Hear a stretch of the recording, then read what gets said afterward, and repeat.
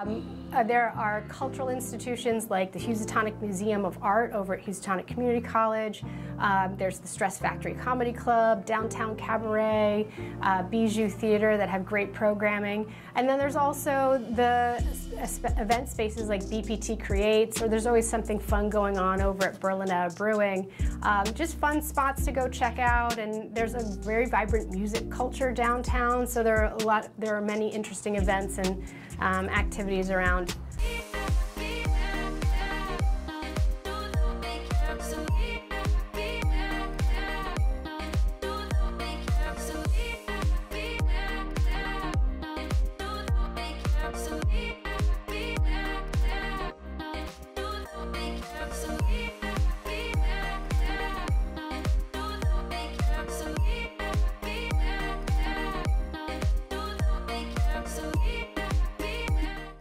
Hello, everyone. Thank you for tuning in to another episode here at the Portcast. Today, we have a special guest with us today, and she's going to tell us a little bit about herself and the great organization that she's a part of, who is responsible for doing so many great things here downtown Bridgeport.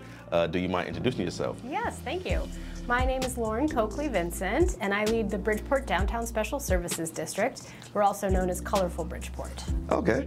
And um, where are you from? Where, where did you grow up? I grew up in this area, um, you know, Fairfield County, Connecticut, and um, I moved away during college, like many do, and lived for about 10 years in New York City, and then just really started missing home and found my way back. Oh, okay, okay.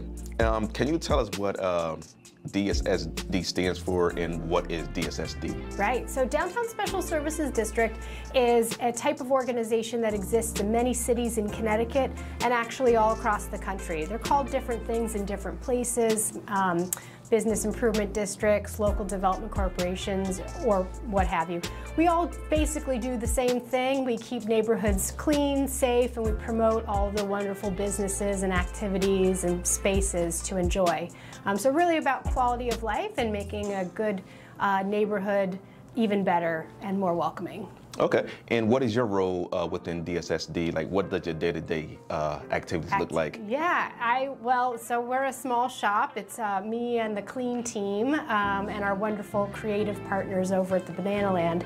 So uh, my role is really keeping the machine running. I work with all of our various partners uh, who deliver our programs, um, and and work with our um, group of stakeholders and collaborators, uh, organizations, creatives, um, and, and the like to um, continue the work that we're doing. Now, is this uh, department funded by the city of Bridgeport?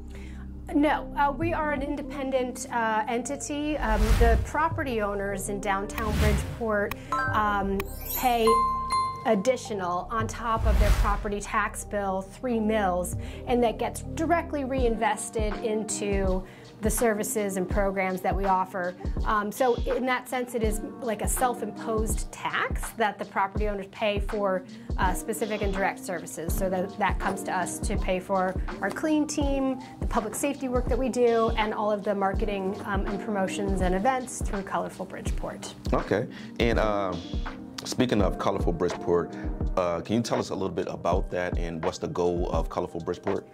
Thank you. The goal of Colorful Bridgeport is to um, elevate the stories uh, told by folks who are in the neighborhood. So we feel like we can tell our own stories and tell the true and positive work that's going on in the neighborhood to re revitalize downtown Bridgeport. So what you see on Colorful Bridgeport is all made locally. Um, we work with the Banana Land, it's a creative agency that's headquartered in downtown Bridgeport, and um, a, a, deep bench of local creatives, um, whether they're graphic uh, artists, graphic um, designers, illustrators, videographers, photographers. Um, everything that you see has been made by somebody in the city of Bridgeport. And, um, and again, it's, you know, I'm sure everyone is aware that there's a perception of, of Bridgeport and, and maybe downtown Bridgeport um, by the outside world that's just simply not true and it's extremely outdated. And so we felt it was important to uh, raise up and support the voices of people here who are doing wonderful things, and Colorful Bridgeport is is the result of that. Now, DSSD, along with Colorful Bridgeport, is doing a great job with engaging with the Bridgeport residents. Why is that so important for you guys? I mean, for a quality of life organization, the theory is that you know we should be here to serve the residents of the community. So we really want to make sure we know what they want, uh, what their concerns are, opportunities they see that we might be missing in terms of some program or service we could offer. Things like um, Skateport, for example. A Bridgeport resident came up with this wonderful concept of roller skating in public spaces and brought it to DSSD um, as an opportunity for partnership. And it's just been wonderful. For the last three years, there have just been so much growth in, in the events and activities in that in that space. Oh. That's just one example of many. So. Okay. So um, in my mind, I feel like the whole art scene has been the catalyst of bringing life back into downtown Bridgeport. Um, would you agree with that?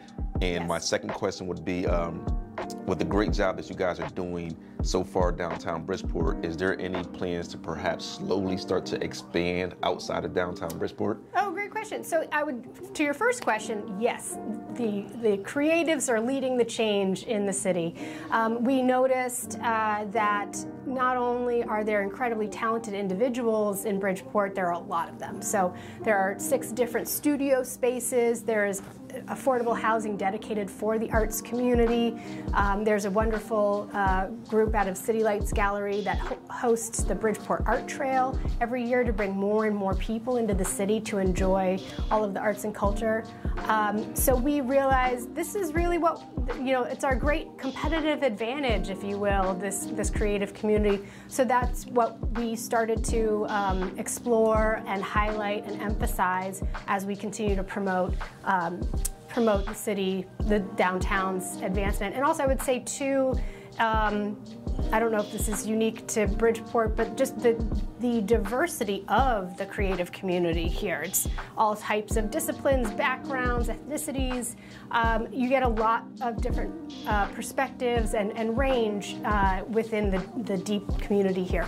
So it gave us a lot to work with as well. Um, so yeah, I would think that would be why we really um, emphasized the creative community. Um, and your second question was about um, expanding our services. So the way that DSSDs work, whether it's a DSSD or a business improvement district or wherever you are, whatever you call yourself, they're all geographically bound to a specific geography um, because property owners pay extra on their property tax bill, so that is bound by where those properties are located.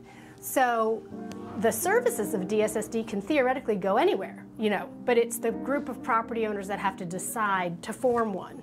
So it would be wonderful if there were more DSSDs in Bridgeport, um, but those groupings of, of property owners would have to say, yes, we want to tax ourselves extra, and we want to we want to monitor services in a given area. So um, while we have to stay downtown, uh, uh, the Bridgeport DSSD has to stay downtown. It'd be great to see more uh, show up around the area.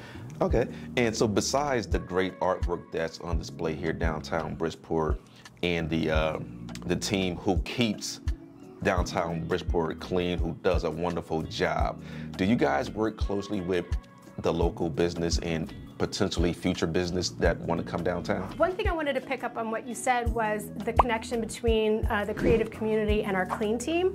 Um, so we recently partnered with the city's Office of Economic Development to produce 32 uh, works of public art around the downtown. 84% um, of those artists were either Bridgeport-based, um, minority, or uh, uh women artists in the area.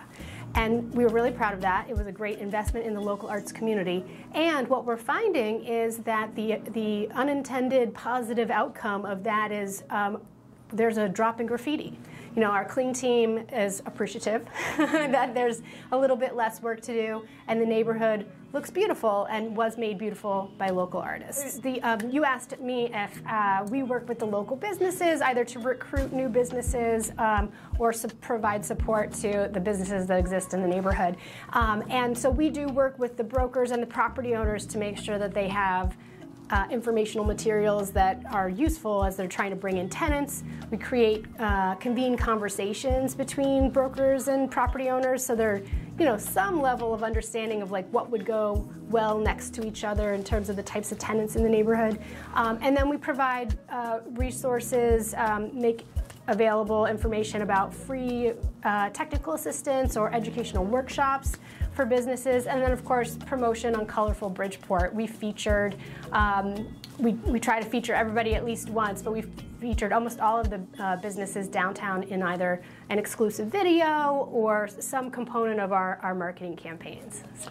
so did you think that these murals would have such a big impact on Bridgeport, downtown Bridgeport? Yeah, I, I, I, did. I did. I, I, I, would be lying if I said I didn't. Um, I did think that uh, knowing the creatives who are here living and working, um, I just I knew the talent that we had and just was very excited that there was an opportunity for that talent to make their work known to the public. Um, so I, I, I, knew that that alone would be dramatic and, and wildly impressive. And I would say, um, you know, it's so exciting to see other people really appreciate um, and come to know the area for such a positive reason. So, um, speaking of providing um, information and resources, I went onto your, uh, the website infobridgeport.com. It's a great, great website. If you want to know what's going on down Bridgeport, go to that website. And so, I also seen on the website it says uh, downtown Bridgeport radiates with diversity from arts, events, eats, music, and shops. Do you believe that this is the, the stepping stone to bringing more major developments to downtown Bridgeport? I do. I think the, the community, the vibe, the neighborhood attracts um, growth. It, it, attracts people who want to bring more residential spaces, that want to locate their businesses downtown to create a good uh, quality of life for their employees. I think you know it's all about creating a sense of place and wanting to be in that place. So we all of the work of, of Colorful Bridgeport and certainly of the Clean Team is toward that end of making this a desirable destination. Okay, and if someone wanted to come and hang out downtown for a day or two, yes. what would you su- suggest that they do? Oh man, there's so many. Depends on what time of year, I will say. but there's so many great places. Um, uh, there are cultural institutions like the Housatonic Museum of Art over at Housatonic Community College. Um, there's the Stress Factory Comedy Club, Downtown Cabaret, uh, Bijou Theater that have great programming. And then there's also the event spaces like BPT Creates, or there's always something fun going on over at Berlinetta Brewing. Um, just fun spots to go check out, and there's a very vibrant music culture downtown. So there are a lot, there are many interesting events and um, activities around around music culture and, and live poetry as well. Um, so it just sort of depends on what your flavor is. And then there's, of course, speaking of flavors, there are wonderful restaurants in the neighborhood um, from 29 Markle to Ralph and Rich to Joseph Steakhouse. Um, El Pueblito if you like Colombian food, Eat Noodle if you're into Asian fusion. There's so many different types of cuisines you know, I could go on and on. There, there are, um, you know, Miss Selma's Soul Food is an institution. So many great spots, um, and and also if you're in, into more of a nightlife scene um, in the city and Bank Sports and Rum and Tequila are super fun places to go have a great night out. Okay, and what could what can the people of Bridgeport expect from DSSD in 2024? We'll be doing more and more, I should say. Um, we are hosting more events downtown. We're partnering with more groups that want to bring their communities to the neighborhood. Um, we're looking forward to many new businesses opening uh, soon along Main Street and along Fairfield Avenue. Um, more on that to come. And there will be a few more installations of public art in the works. We have about five or six sites that we just didn't have the time to wrap up last year. Um, so those are on the way. And, and um, until March 15th, I think, um, artists who are interested can submit their applications on engage.bridgeportct.gov um, for those opportunities. So we're looking forward to more and more in 2024. One last question. What's the most enjoyable part of your job? The most enjoyable, without a question, the most enjoyable part of my job is the people that I get to work with. I, there's so many between the creative community I get to work with on the public art projects to all of the wonderful individuals who are involved in our program committees. We have three program committees, um, special events and marketing, who help us figure out what to do in terms of colorful Bridgeport things, um, our physical conditions crew that uh, makes sure we have beautiful native pollinator plants all around the neighborhood in the springtime um, and throughout the year. And then our public safety committee, which works very closely with the police department to make sure that downtown Bridgeport is a safe place for people to enjoy. Um, so all of the folks I get to, and on our board of commissioners, um, other property owners, you know, get involved in the work. And, and so, it's, you know, it's all the people that we get to work with on a daily basis that really brings joy. Um, there's so many wonderful people to meet and know in this neighborhood. So. Now, are you yourself a creative person? I think I like to be around creative people. I cannot really draw much more than a stick figure, but I do appreciate um, creative space, creative thinking, creative dialogue. Um, so I think that's more of my my realm of you know facilitating. Uh, moments and, and, interactions. Okay. And if people want to uh, find out more about downtown Bridgeport and what's going on in upcoming events, how can they uh, follow you? Great. So if they want to follow Colorful Bridgeport on Instagram, YouTube, Facebook, and LinkedIn, you can find us there. And also on our website, colorfulbridgeport.com, if you click on our newsletter link, every week we send out a what's happening in downtown Bridgeport events for the week and, and beyond. Um, so it's a good way to stay in touch. And then there's also um, the second Wednesday of every month at 4 p.m., we have our monthly board meetings and they're open to the public and anyone is welcome to attend and, and learn more about what's going on downtown and what's going on with the DSSD. They, we hold them right in the DSSD office. That's 938 Broad Street. We're right across from the um, downtown library. So come see us there. All right, Lauren, I'd like to thank you for taking time out your busy schedule to talk about the great things that you and DSSD along with your team are doing here downtown Bridgeport. I really appreciate it. Thank you so much. Thank you so much. I really appreciate the opportunity and I just love the Portcast and everything that you're doing to spread the word about Bridgeport. So thank you.